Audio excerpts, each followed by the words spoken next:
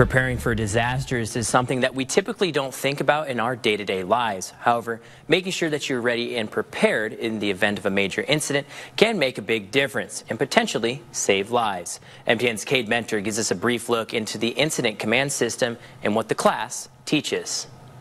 Preparing for the worst is obviously something that none of us like to do, but we can all agree that it's essential, which is why here at Great Falls College MSU, attendees got to learn the ins and outs of preparing for major events also referred to as incident command system for expanding incidents. Yeah, for the bottom line, I mean, for people that are viewing this class is for bringing order to chaos.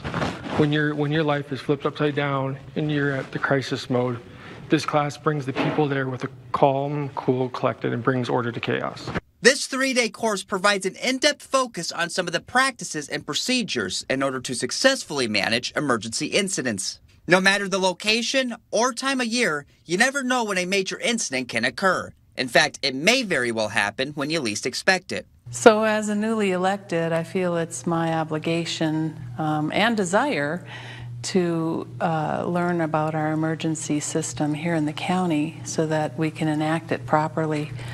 And um, I am doing my due diligence because, as we all know, safety of our citizens is priority. And by preparing as much as possible, Montana Disaster and Emergency Services says the ultimate goal is to prepare first responders and making sure they plan ahead, along with having the ability to work with other entities more effectively.